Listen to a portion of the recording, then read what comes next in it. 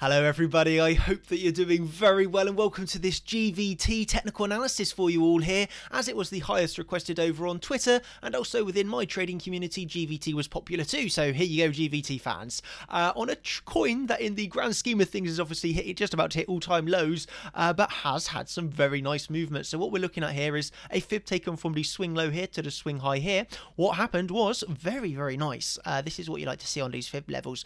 Obviously, the one one three three here. Okay you can see the reaction that we had literally coming down onto that hitting the 1 1.133 and getting a 60% pump okay? So that's obviously in the space of two days hitting that fib level getting that reaction. But now you are losing that support okay? So we are losing that support right now. Obviously you uh saw a massive pump followed by a dump here uh, off of this really nice pitchfork okay? So you can just see the reactions that it's had from this midpoint okay? And again getting very much rejected from there and the height of this move okay? So naturally with losing this support we do have have to look down towards lower levels. We obviously have a weekly and a daily support here, which is down at uh, weekly 2721 daily 2111 okay? And the 1272 is all the way down at 173 that's quite a drop away absolutely. Um, so naturally we have to be drawn towards this uh, daily uh, daily and weekly support levels. Um, and let's see if these bullish divergences continue because here we are on the daily. You can see we are now making lower lows on uh, on the price action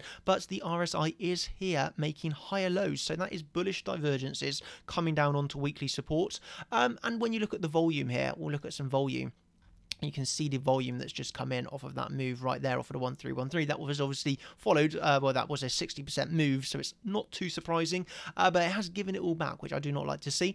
Uh, but yeah have some alerts set for these key support levels here and uh, yeah monitor this see a reaction take the trade. Um, Hope that you've enjoyed this video. If you have, much appreciated if you can give me a like uh, on YouTube, Twitter, or just a share, a retweet. Thank you very much. Hope that you have thoroughly enjoyed this and it's been educational. And uh, yeah, I'll catch you around in the next uh, update. Thank you, everybody. Cheers. Have a great day.